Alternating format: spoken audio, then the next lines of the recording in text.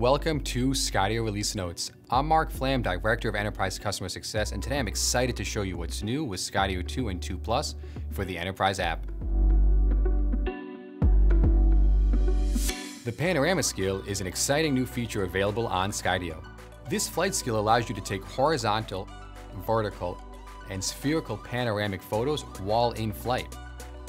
The horizontal option captures a 180 degree horizontal panorama centered at the horizon. The vertical option captures a full 180 degree vertical panorama. And the spherical option provides a full 360 degree equirectangular image.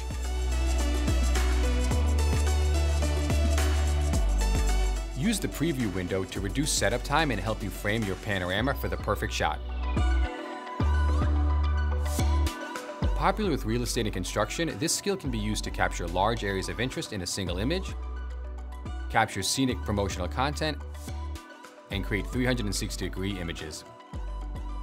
Use a third-party interactive viewer to explore fully stitched 360-degree photos. Be sure you allow the stitching to complete post-flight before powering off your drone.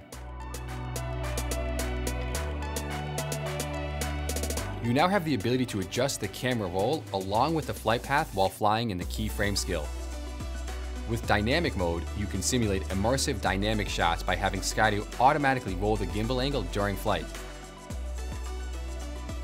With recorded mode, you can set your gimbal angles at the keyframe points. The gimbal roll will smoothly transition between these points. When the playback style is set to free look, you can manually control the gimbal roll with the right wheel or paddle. This new feature will allow you to capture incredible immersive footage, giving you the ability to simulate dynamic movement with your Skydio drone.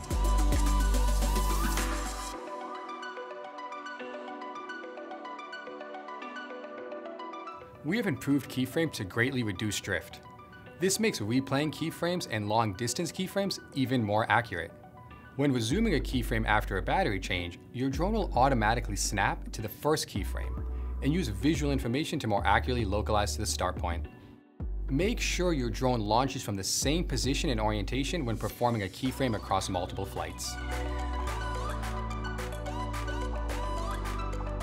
As you know, we recently announced Scout, an exciting new feature that provides GPS overwatch tracking of your Skydio controller or Skydio beacon.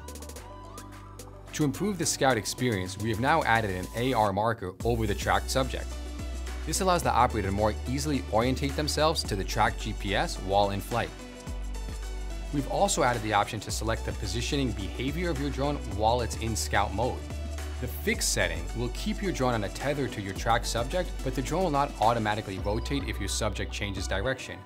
Your drone will continue to track the subject while the perspective of the drone remains fixed until changed by the operator. When the relative setting is selected, the drone will reposition itself around the track device to match changes in the subject's direction.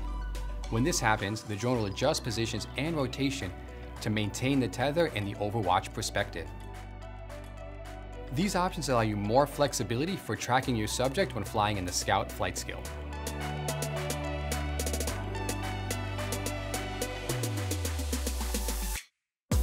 As you know, the Skydio battery indicator has different colors marking the remaining battery for your flight.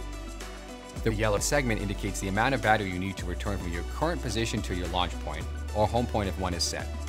If low battery auto return is on, then once you reach the yellow battery level, your drone will automatically return to your home point.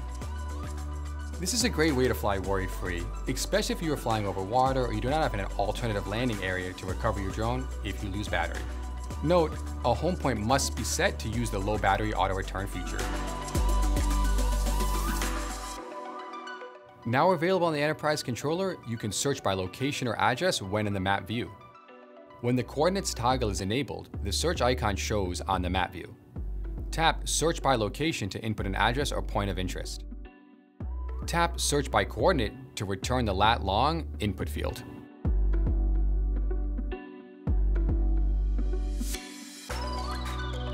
We have made it easier to enable an upward capture so you can use your Skydio drone to look up and capture surfaces.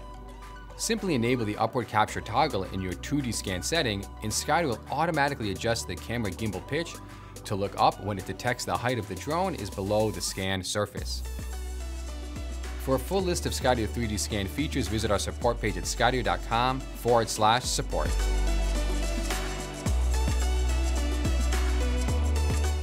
With Skydio Cloud, you can now share media from a flight. Generate a link for that flight and share the media with anyone inside or outside your organization. You can also set the expiration time for the link so you can control who accesses the media and when.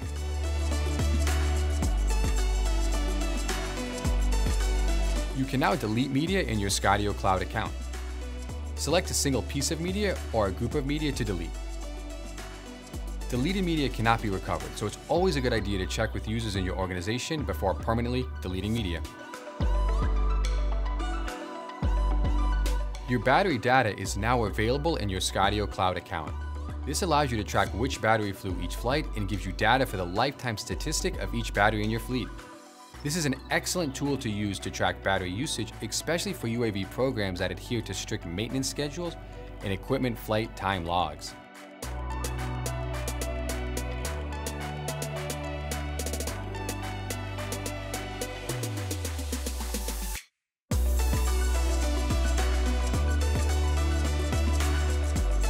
Here at Skydio, we are committed to improving so you have the best possible experience with our products.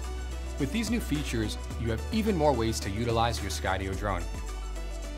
For more information about this release, visit our support articles at skydio.com forward slash support. Thank you and fly safe.